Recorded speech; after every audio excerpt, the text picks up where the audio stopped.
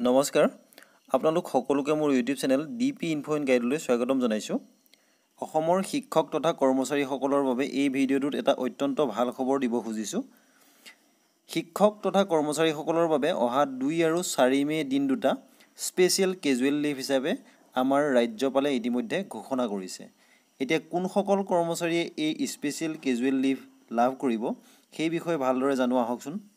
Sir বাইদেউসকল এইখন হৈছে ত্ৰিছ এপ্ৰিল দুহেজাৰ বাইছ তাৰিখে অসমৰ সন্মানীয় ৰাজ্যপাল মহোদয়ে জাৰি কৰা এখন বিশেষ নটিফিকেশ্যন ইয়াত লিখা হৈছে যে the governor of Assam is please to allow special casual leave on second and fourth May' two thousand twenty two including public holiday on account of Eid ul Fitr to the state government employees who are going to participate in the sixty first annual conference of the Bodo Sahitya Sabha to be held on Kachubari Tamulpur B T R Assam this is the approval of honourable chief minister Assam অৰ্থাৎ ইয়াত কোৱা হৈছে যে B T R অঞ্চলত অনুষ্ঠিত হ'ব লগা এষষ্ঠি সংখ্যক বড়ো সাহিত্য সভাৰ অধিৱেশনত অসম চৰকাৰৰ যিসকল কৰ্মচাৰীয়ে অংশগ্ৰহণ কৰিব তালৈ যাব।